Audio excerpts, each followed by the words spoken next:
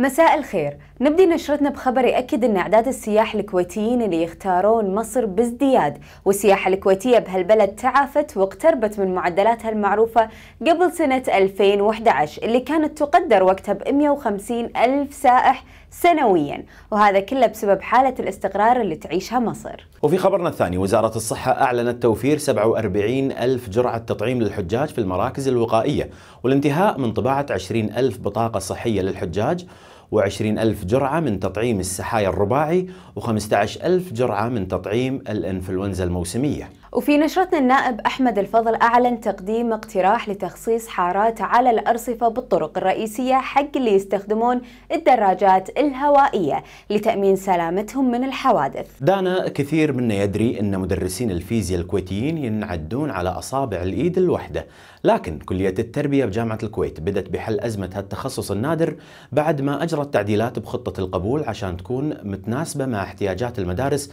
من باب تطبيق سياسة الإحلال.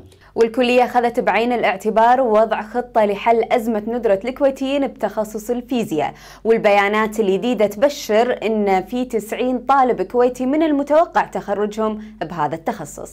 الهيئة العامة للقوى العاملة اتفقت مع القطاع المصرفي على زيادة التكويت في القطاع الخاص. والقطاع المصرفي هو أكثر قطاع يوظف الخريجين والأعلى في فرض نسبة العمالة الوطنية اللي تشكل 70% من إجمالي قوة العمل فيه. ومن أخبارنا بالنشره وزير الكهرباء الدكتور خالد الفاضل طمن إن الإنتاج الكهربائي آمن وشبكاتنا قادرة على توفير كل احتياجات البلد وما في أي قطع مبرمج هذا الصيف.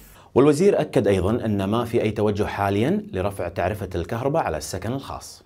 وصلنا لنهاية نشرتنا نتمنى لكم نهاية أسبوع سعيدة. مع السلامة.